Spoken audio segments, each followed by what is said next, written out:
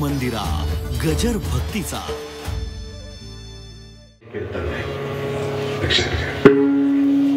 काही मोठ्या माणसांचे ऐकलेले वाक्य आहेत त्याच्यातलं पहिलं वाक्य असं आहे की प्रपंच कीर्तनात प्रपंच कीर्तनात सांगावा अशी प्रपंचाची लायकी नाही. परमार्थ सांगितलेलं तुम्हाला कळत नाही. मग सांगावं काय हा? खाली बसलेले जेवढी मंडळी आहेत त्याच्यापैकी सज्जन कोण आहेत हातवर करावं?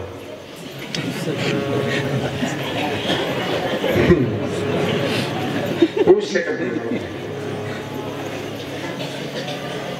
सप्ताहाला बसलो तर आपण तरी सज्जन नाही. बरं समजा त्याला हे जाऊ सज्जन नाही कुणीच नसेल सोडून दे. दुर्जन कोण आहे बरं खाली बसले आपण काय महाराज ही मंडळी ना सज्जन आहे नाही मी जाऊ का घरी? खालून बोलताल का थोडं थोडं तुम्ही सज्जन नाही आणि दुर्जन सुद्धा? सांगतो पोरग जर मुलगा जर चांगला नसला तर त्याच्यासाठी पैसे कमवून ठेवून उपयोग बोला पोरग दलिंदर असलं तर पैसा कमवून उपयोग नाही. आणि पोरग चांगलं असलं तर त्याच्यासाठी पैसे कमवायची गरज?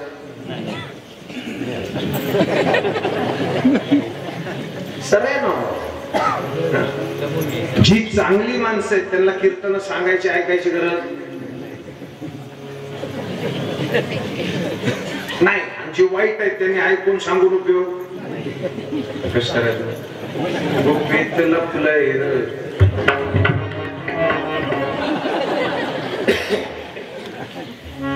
चार टप्प्यामध्ये लक्ष देऊन ऐका कीर्तन पहिलं तुमच्यातून माझ्यात संवाद झाला पाहिजे. काय झालं पाहिजे? तुम्ही मला बोललं पाहिजे मी तुम्हाला बोललं पाहिजे. दुसरी गोष्ट मी तुमच्याशी तुम्ही माझ्याशी संवाद केला की तुम्ही त्याचा स्वीकार केला पाहिजे. सिरियस नका वगैरे मला ती अशी अशी माणसं आवडतात नाही घरी मारायचा. पहिलं काय सांगितलं वाक्य मी? थोडं एक संवाद. पहिलं वाक्य काय? संवाद.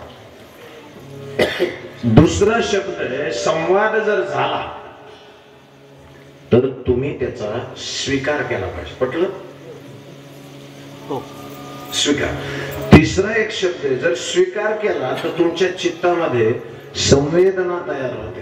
काय होते संवेदना बरोबर? एकमेकाची व्यथित वेदना दुःख कळत ठीक आहे? आणि मग चौथा शब्द आहे जर संवेदना पूर्ण जागृत झाली तर चित्तात सद्भाव तयार होतो ठीक आहे? आणि सद्भाव एकदा आले की खेपाच तो भावी विन देव न कळे. पाठ आहे मला लोकांना बघा इतकं पाठ आहे वाचावी. तेव्हा. लय पक्के. सप्ताह होऊस तर एक जण सुद्धा चूक करीत नाही. गावात आणि एकदा सप्ताह संपला.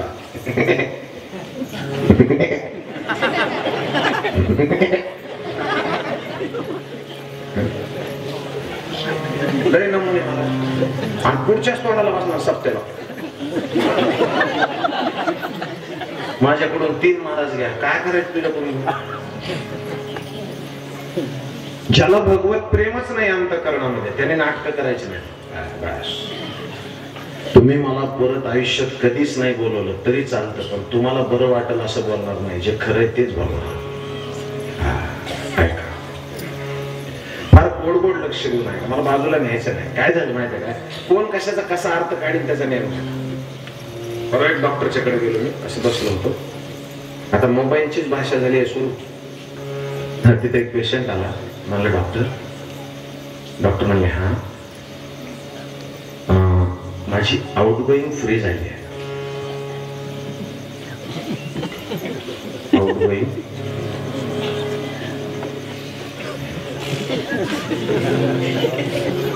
फ्री झाली आहे आणि बॅलन्स आउट झालाय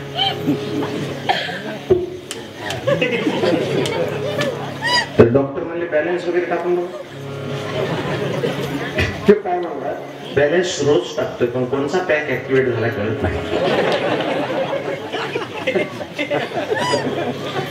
बरं नुसता पॅक ऍक्टिव्हेट झालाय तर ते म्हणजे फक्त आउट गोईंग आहे का? नाही म्हणलं वेगवेगळ्या रिंगटोन्स ऐकू येतात. भाषा कशाची आहे? भाषा कशाची आहे? बघा. याच भाषेशी तुम्हाला एकरूप करतो ऐका. तुम्ही जुन्या काळामध्ये त्यावेळेला हे शेरीट वगैरे नव्हतं पहिल्यांदा मोबाईल आला होता त्यावेळेला ब्लूटूथ नावाचा एक प्रकार होता बरोबर? महिलांनी नव्हते तवा वापरले तवा तुमच्याकडे होते. ब्लूटूथ वापरताना समोरच्या माणसाला जर काही द्यायचं असेल तर त्याला काय करावं लागायचं? त्याची ब्लूटूथ ऑन करावा त्याची ब्लूटूथ ऑन करावी लागत होती आणि याची सुद्धा ऑन जसं कीर्तन करायची ऑन आणि तुमची ऑफ असली शेअरिंग होत तुम्ही सुद्धा ऑन करा. ओके बरं नुसतं ऑन करून चालत नाही. तुमच्या ब्लूटूथला एक नाव असतं. माझ्या ब्लूटूथला एक नाव असतं. बरोबर? मग तुमच्या ब्लूटूथचं नाव माझ्या ब्लूटूथचं नाव एक झालं की पेअर करायचं. काय करायचं त्याला? पेअर करायचं. आणि ह्या पेअरला ज्ञानोबरायांनी एक ओवी टाकली. हृदय हृदया एक झाले. ते हृदयीचे ते हृदय घातले. म्हणतात. अशी गोड वाचायची येण्यासारखी वाचायची नाही. काय होत सात दिवसात पारायण संपवायचं असतं अशी धडपड असते मला ओम म्हणजे देवा घरी जागा जुने आमचे जिजा दिसतात आलेले कीर्तन. खूप दिवसांनी भेट झाली त्यांची. अजून तसेच आहे आणि तसेच राहतो मी आयुष्य चला पुढे ज्ञानोदरांची ओळी काय? हृदय हृदया एक जाहले. बरं आता मी सरळ विचारतो. इकडे एक मेणबत्ती आहे इकडे एक मेणबत्ती कळत आहे बोला गड्या. हा. हे- आता जे होय म्हणले ना ही चिरडेला आलेलं होय.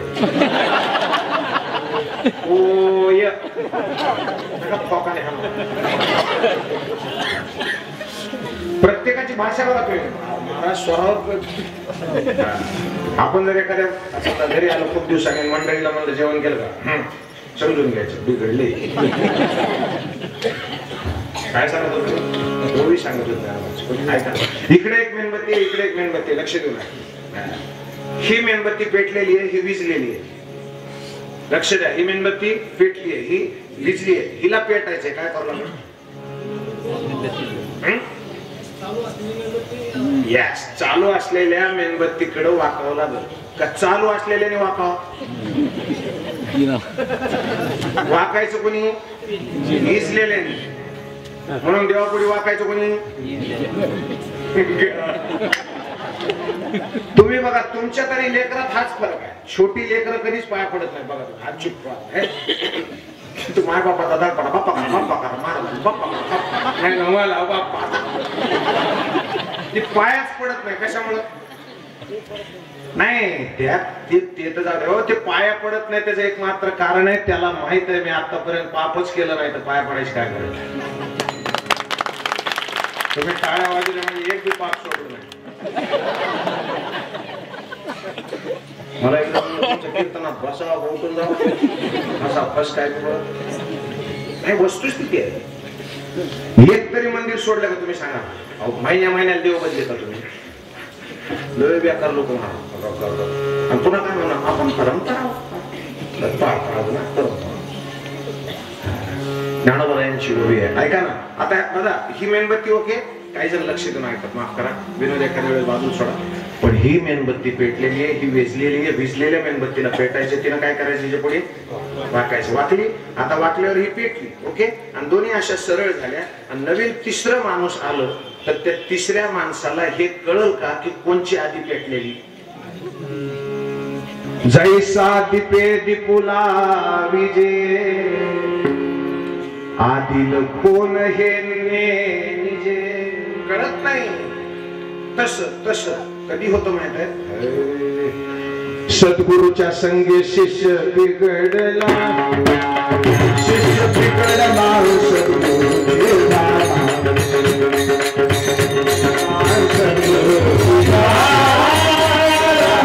शिष्य बिघडला सद्गुरू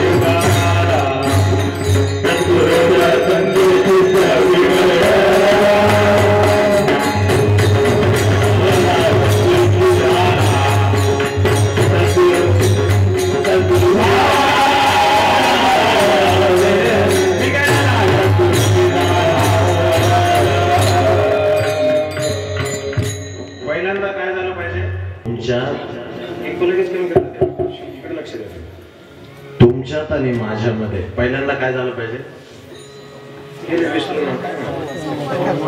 संवाद झाला पाहिजे. काय झालं पाहिजे? संवाद. आणि तुमच्यात माझ्यात संवाद झाला की तुम्ही काय केलं पाहिजे?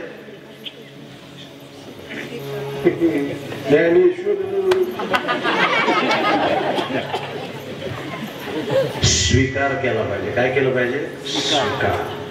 आणि जर तुम्ही स्वीकार केला तर संवेदना तयार होते आणि संवेदना तयार झाल्यावर सद्भाव तयार ओके आता हे सद्भाव सांगतो आता. लक्ष ईश्वरावर प्रेम करणं याचा अर्थ फक्त ईश्वरावरच प्रेम करणं असं असेल तर तो चुकीचा आहे. जो आम आदमी से प्यार नहीं कर सकता वो राम से प्यार करने का अधिकारी नाही ज्याला सामान्य माणसावर जीव लावता येत नाही त्यानं देवाधर्माच्या गोष्टी करायच्या. सांगू एक सोपी गोष्ट? घरामध्ये तुम्ही बसलाय पंखा चालू आहे आणि चिमणी घरात आली तर उठून पंखा बंद केला ना ही सुद्धा ईश्वराची भक्तीच आहे लक्षात ठेवा. ती एक चिमणी मरू नये असं जरी आपल्याला वाटलं तरी ती भक्ती आहे. सांगू? घरामध्ये हे काही माणसाच्या डोळ्यात आपल्यामुळे पाणी येऊ नये असं त्याला वाटतं समजून घ्यायचं तो त्या रस्त्याने चाललाय मला तुम्हाला करमत नसेल माणसाला रडल्याशिवाय. चुकतंय. मला एक महात्म्याची आठवण झाली मला माणिक प्रभू नावाचे एक साधू होऊन गेले. मला औदुंबराचं वृक्ष बघून बोलतो. हे प्रभु बिन कोण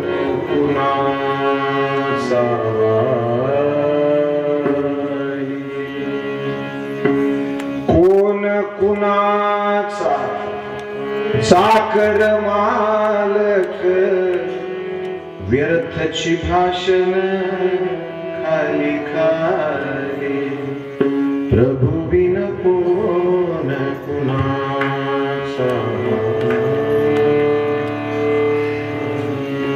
भेद नको देवा वैद नको. नारायणाला सगळेच प्यारे.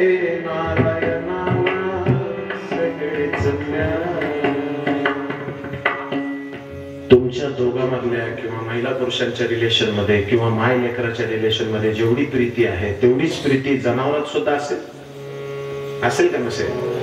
एक घटना सांगू? आठवले दादा महाराज माझ्या जीवनामध्ये मी रस्त्यावर घडलेले प्रसंग काळजात ठेवतो.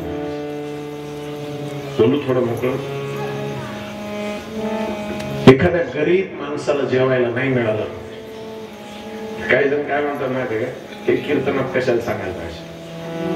आहे नका सांग पण एक सांगू दादा वैष्णव जन तू पीर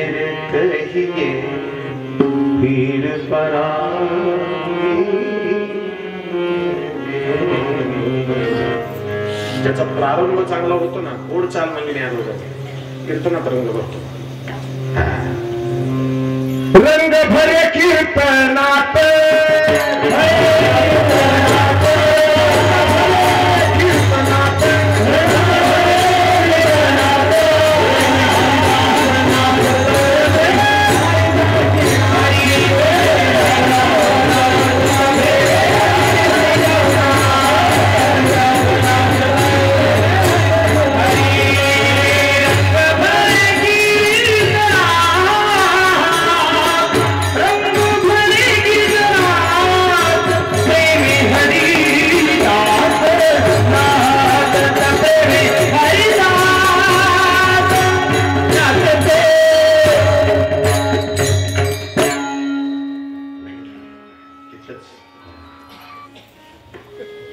भाजी लावणे तितकंच. किती गोड. प्रसंग आहे ना प्रसंगानुरूप चाल टाकली त्याच्यानुसार अनुरूप राग आला की मग राग येत नाही. ज्याला नाही कळलं ते जेवत झालं ना मराठी जर कळत नसेल तर काय फायदा? ऐका ना त्या माणिक प्रभूंच्या जीवनचर्येमध्ये दोन गोष्टी सांगतो. असाच आणखीन एक देह आहे. ऐका मला रामकृष्ण परमहंसांविषयी बोलायचं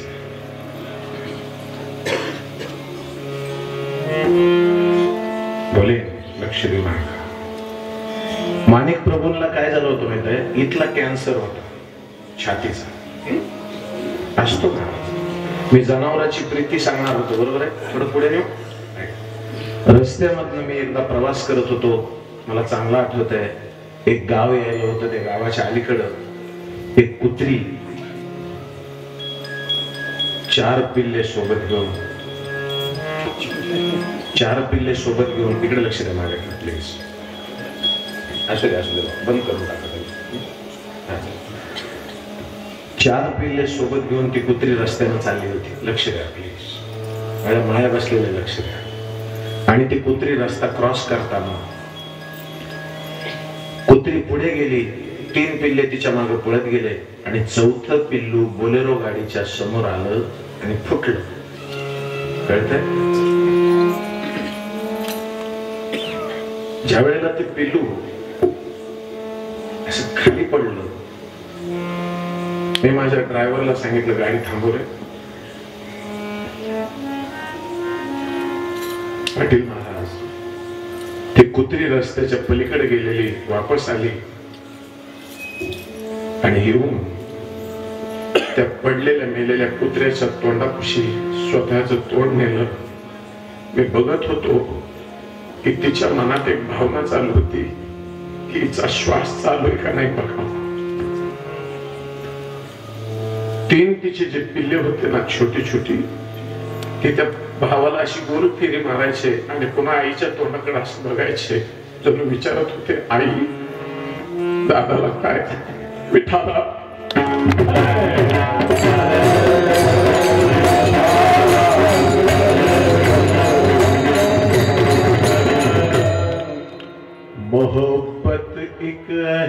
एहसासों की पावन कहानी है। कभी कबीरा दीवाना था, कभी मीरा दीवानी ये सब लोग कहते हैं, तेरी आँखों में आँसू है। जो तू समझे तो ये आंसू ना समझे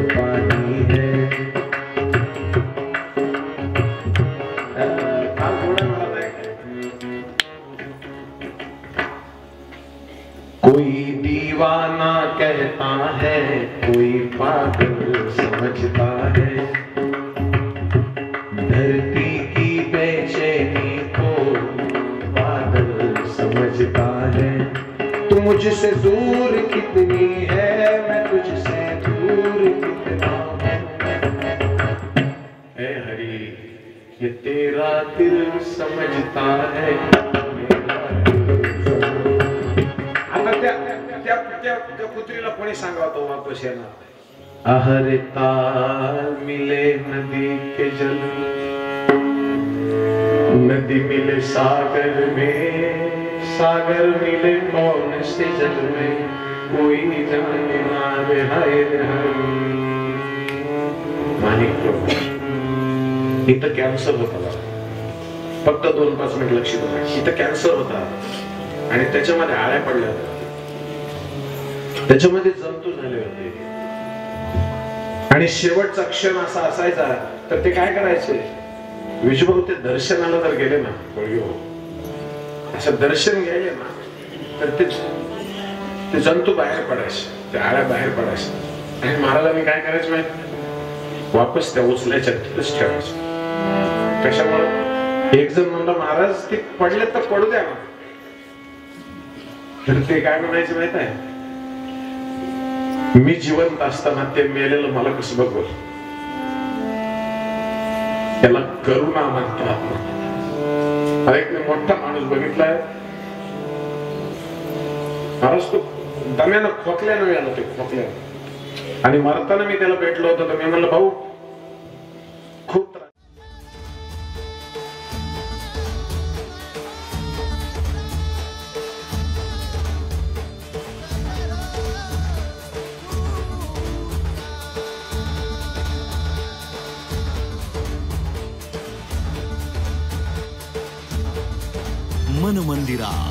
गजर भक्तीचा